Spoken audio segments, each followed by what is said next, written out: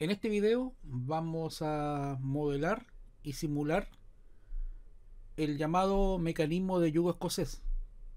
Este mecanismo tiene como objetivo generar un movimiento circular y después transformarlo en un movimiento lineal. Básicamente, en este esquema representamos a una manivela giratoria con su centro en A. Tenemos una pieza que es B, que, que aparece como una T en la horizontal. Esta pieza tiene un ranurado donde encaja un pasador, que en este caso es el C. A medida que esta manivela va girando, este componente se va desplazando de derecha a izquierda a la velocidad del componente giratorio. Bajo el plano de vista superior vamos a dibujar una circunferencia de 100 milímetros. Esta circunferencia que representa la trayectoria de esta barra que es de la C a la A la vamos a dejar de forma constructiva. Después eh, aparece obviamente eh, la barra que está en diagonal que geométricamente y para fusión 360 es un slot está ahí que lo podríamos dibujar eh, de esta forma se fijan ahí. Yo creo que unos unos 14 milímetros estaría bien. Ahora eh, acá yo creo que hay unos 45 grados. Vamos a acotar esto. Eh, vamos a trazar una línea el horizontal para facilitar el, el trabajo. Esa línea horizontal la vamos a dejar en, en vista de construcción o sistema de construcción. Letra D para acotar. Aquí tenemos 42.8. Vamos a colocar 45. Y ahí el slot está en esa diagonal de 45 grados. Ahora aparece eh, una circunferencia que la letra C, que está representada por la letra C, que es el vástago, y lo vamos a dejar de unos 10 milímetros, y aparece una letra A, que será el centro o el eje de este vástago o este brazo. Nuevamente con la letra C, 10 milímetros. Entonces ya tenemos esta geometría. Vamos a trazar una línea unas líneas rectas y horizontales. Por ejemplo, de la C a la I. Entonces, de aquí acá, siempre con línea constructiva. Después eh, tenemos acá una línea que la voy a dejar pasante, siempre a 90 grados. Y otra línea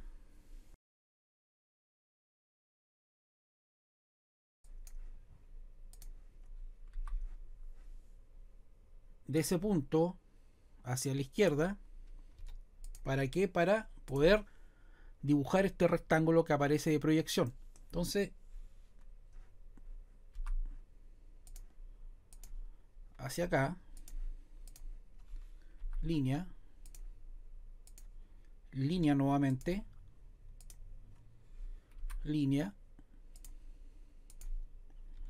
ok, ahí estaría terminada Vamos a borrar lo que está además con la letra T. Vamos a sacar estos excedentes que pueden molestar de repente. Ahí ya estamos limpiando la, figura. Recuerden que estas líneas segmentadas después pueden ser líneas ya sólidas para poder extruir. Y ahora vamos a... Tendríamos que dibujar el slot de ese punto hasta este punto. Eh, entonces vamos con el slot.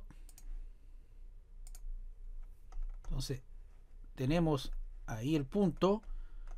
Debemos llegar al punto G que aparece acá arriba. Lo vamos a acercar. Ahí estaría el punto.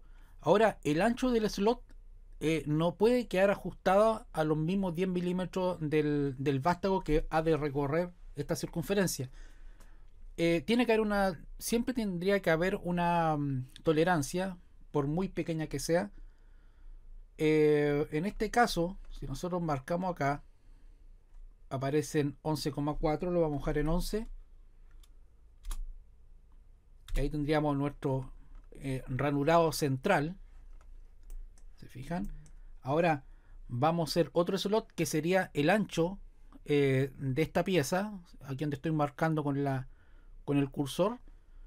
De nuevo, de nuevo ocupamos el slot. El punto central. Y acá podría ser eh, en realidad cualquier medida. Vamos a dejar 20. Vamos a hacer el, la pieza que está o la guía que está en la horizontal hacia la izquierda con la L. Vamos a marcar hacia acá. Lo vamos a dejar bien alejado. Total, después uno lo podría recortar. Y ahora em, yo creo que podría tener el mismo ancho total. Aquí, si nosotros acotamos este ancho, tenemos 4,5. Entonces vamos a apretar o vamos a ocupar el offset de O hacia arriba 4,5 ok nuevamente la operación. Hacia abajo menos 4,5 ok. Y bien ahora vamos a recortar con la letra T.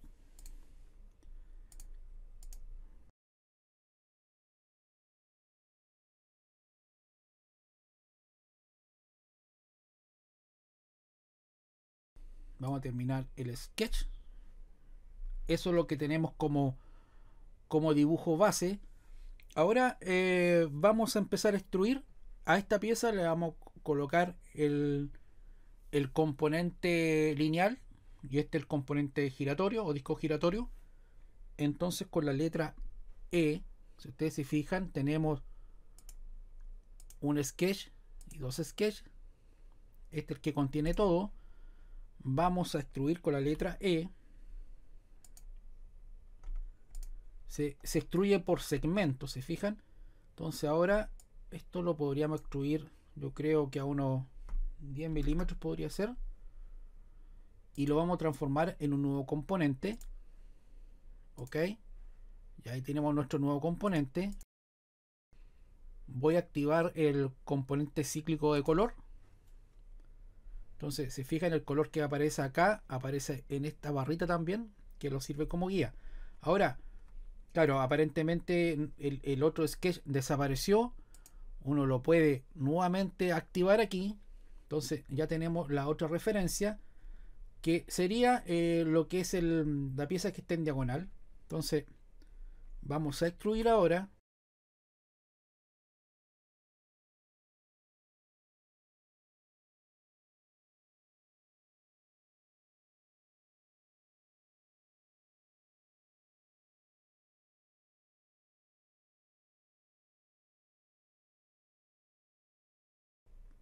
Ok y vamos a activar nuestro Yugo Coser nuevamente. Tenemos esas dos piezas. Ahora estas dos piezas están en, el espacio ¿no es cierto? yo las podría tomar y están sueltas. Eh, vamos a hacer un eje una estructura que soporte ambas piezas. Vamos a crear una base pero antes de crear la base vamos a hacer un eje un eje para esta manivela. Entonces nuevo componente. Un eje que va a estar soldado a una base. Entonces con la letra C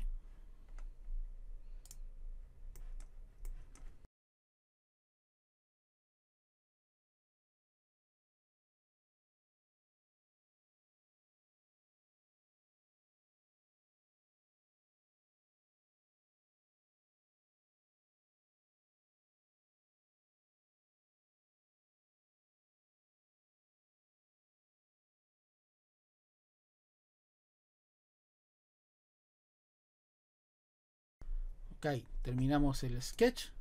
Se fijan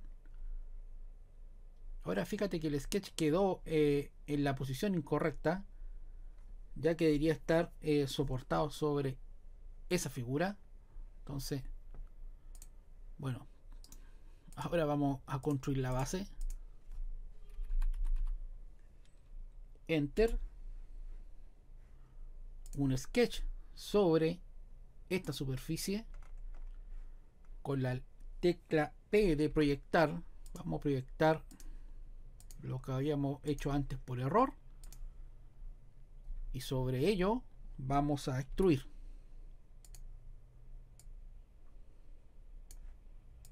15 milímetros está bien ok. Volvemos a nuestro yugo escocés. Algo así está mucho mejor. Eh, perfecto. Entonces el eje lo, voy a activar y voy a crear una instrucción para que llegue al otro borde de, de la base.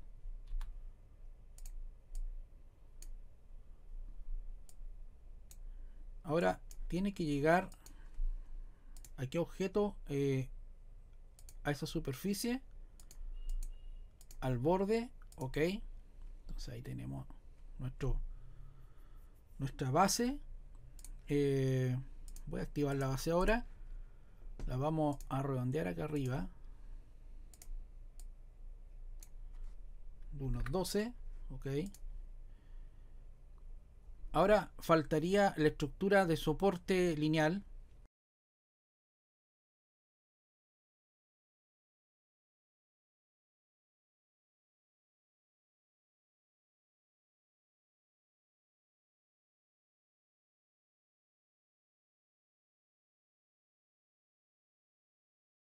Para acá. A uno menos 15. Ok, lo vamos a redondear.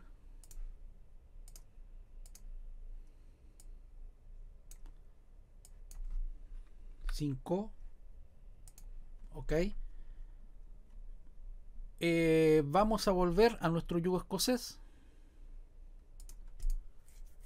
ahora vamos a guardar esto no hemos guardado nada save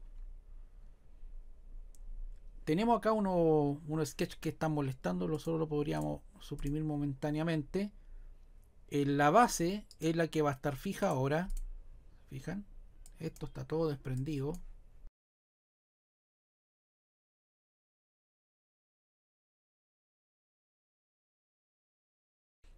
Ahora, ¿cómo funciona esto? Eh, acá yo saqué la T, pero aquí falta la, digamos, la, perforación o el vaciado para que esta pieza desplace.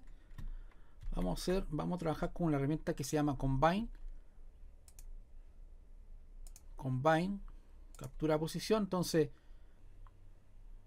no es un nuevo componente. Ahí sí. Perfecto. Ya sabemos que esta pieza tiene que deslizar por, ese, por esa ranura que dibujé. Eh, esta pieza que está acá, está suelta, ahí, control Z. Eh, el eje lo vamos a dejar, eh, por decirlo de alguna forma, lo vamos a dejar fijo a esta estructura. Entonces, as boolean join, captura la posición, eh, el soporte, ah, con el eje rígido, ok. Ahí estaría. Y esta pieza tiene que ser eh, rotatoria o revolut sobre el eje que está en morado. Entonces, yo eh, lo vamos a hacer con join, captura posición y acá revolut. Ok. Perfecto. Entonces ahora, eh, si nosotros animamos el modelo, obviamente se desliza esta manivela, pero al momento de deslizar, y tal como teníamos en el esquema, esto debe desplazar de derecha a izquierda. Para que esta pieza se deslice sobre este soporte principal, los vamos a join, la herramienta o el tipo slider, que es deslizar, marcamos un gizmo, en este caso automáticamente eh, lo marca a la mitad de esta barra y después tenemos que buscar el mismo gizmo, en este caso la ranura, que sería S. Entonces ahí se puede ver que hay un deslizamiento. Ok, tenemos el deslizamiento. ahora tendría que yo al momento de girar esto se mueva también esta barra para ello ocupamos la herramienta de habilitar set de contactos o solución de contactos ahí aparece botón derecho creo, creo la nueva solución de contactos marco la, la manivela y marco la pieza. Entonces si nosotros vemos de lado lo vamos a avanzar se fijan ahí está tocando tangencialmente a ese punto mayor y después se desprende un poco y hace lo mismo al otro lado. Entonces eso es lo que persigue el yugo escocés fijan ahora para animar esto botón derecho animamos el modelo. De ahí se ve cómo está funcionando nuestro yugo escocés. Ahora yo lo hice para un lado esto yo lo podría replicar y copiar para el otro y básicamente es el mismo concepto constructivo. Bueno eso sería todo. Gracias por su compañía